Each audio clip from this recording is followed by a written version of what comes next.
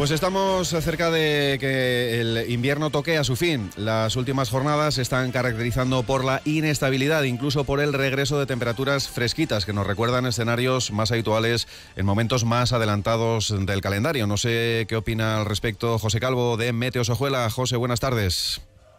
Buenas tardes, ¿cómo estás? Pues eh, lo que no estoy seguro es de si las temperaturas han sido más bajas estos días o es la sensación térmica la que nos hace tener un poco más de frío o, como suele decirse de forma coloquial, estar un poco más destemplados. Pues ahí, ahí has estado bien, porque efectivamente estamos con temperaturas eh, más altas de lo que suele ser habitual. Lo que pasa es que tenemos un flujo de vientos de levante que llegan con bastante humedad desde el Mediterráneo y además soplan con un poquito de fuerza y esa sensación de humedad, esta nubosidad de tipo bajo, es lo que hace que la sensación térmica que tenemos nosotros aquí, sobre todo en la zona del, valle, es casi de fresquito, que muchas veces es verdad que dicen, pero qué, qué frío hace. Digo, pues no, no te creas, porque las temperaturas son más altas de lo que suele ser habitual. Te recuerdo que todavía estamos, bueno, ya en marzo, ¿no? Ya queda poquito para la primavera astronómica, hemos empezado la meteorológica, pero si tú subes a zonas altas, el ambiente es muy agradable. Lo que pasa es que tienes razón en el hecho de que estos vientos de levante que aportan la humedad son los que parece que mantienen esas temperaturas más frías de lo habitual sin serlo. Es que lo que pasa con el frío es lo mismo que ocurre con el miedo, ¿no? Que es libre y cada uno tiene el que quiere. Sin duda, sin duda, así es.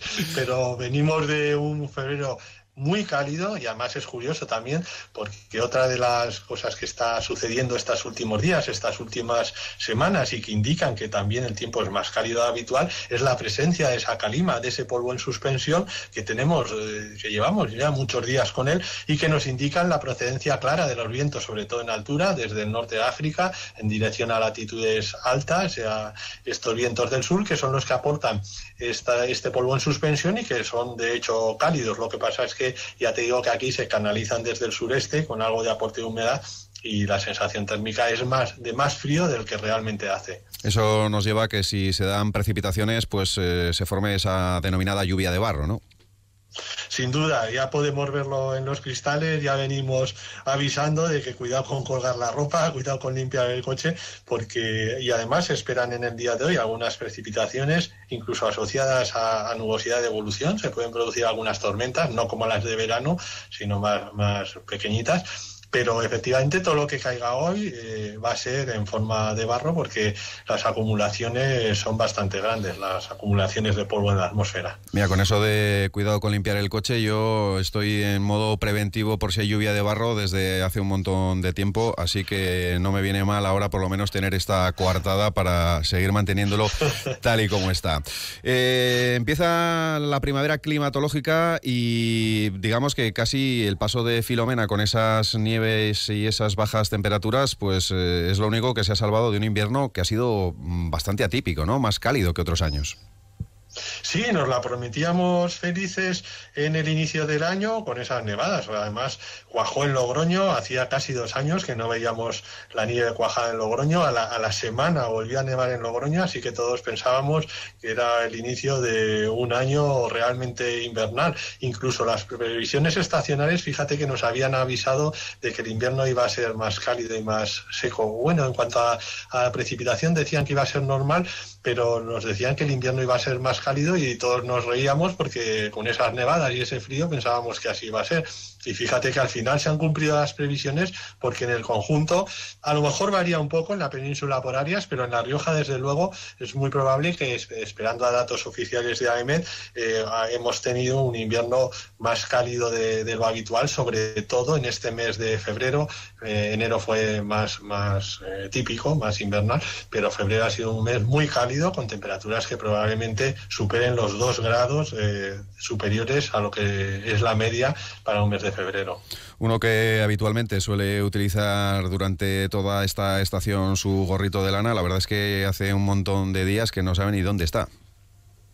No, no, está, está claro. Y eso, y eso que ha habido alguna nevada. Eso, la, la ibérica es donde es nuestra, la Ibérica Riojana, San Lorenzo, es donde mejor se puede ver la evolución del invierno, ¿no? Y eso que ha habido alguna nevada, eh, a principios de febrero hubo una nevada que, dejó otra vez blanca toda la Ibérica, pero sin embargo desde entonces prácticamente solo queda nieve en las cumbres, en las cumbres más altas y las heladas también se han echado en falta, sobre todo este mes de febrero. Esperemos que nos llegue ahora en marzo. Y en lo más inmediato, en lo que quede de semana y de cara al próximo fin de semana, ¿qué previsiones podemos apuntar, José? Pues nada, se va a mantener este ambiente variable. Es muy probable que, la calima empiece a desaparecer porque empiezan a girar los vientos al noroeste. Los vientos del noroeste en nuestra región pues dejan más nubosidad, sobre todo en zonas de, montaña, en zonas del oeste de la región, con algunas precipitaciones que se esperan débiles, poquita cosa, y en el valle pues estaremos entre nubes y claros. Lo que sí vamos a notar es que las temperaturas van a bajar un poquito y que pasaremos de este régimen de vientos de levante a un régimen de, cierzo eh, muy flojito, eh. tampoco va a ser eh, muy llamativo. Así que nada, se mantiene el ambiente variable, casi te diría que primaveral, propio de esta época, con, con temperaturas un poco más acordes a, la, a esta época del año. Así que me olvido de buscar el gorro, lo dejo ya para mejor ocasión, quizá. Depende de lo que seas. yo mano lo tengo, yo siempre lo tengo a mano, porque si coincide con algún trabajo, bueno, pues siempre, siempre se agradece. Y, y ya te digo que las temperaturas van a bajar un poquito respecto a las que tenemos estos días. Pues veremos eh, cómo se cumplen las previsiones eh, que nos deja sobre la mesa José Calvo desde Meteos Ojuela. La próxima semana volvemos a hablar del tiempo ya en esa recta final. Eso sí que será la recta final oficial de este invierno. José, muy buenas tardes y feliz semana. La semana que viene Adiós, adiós.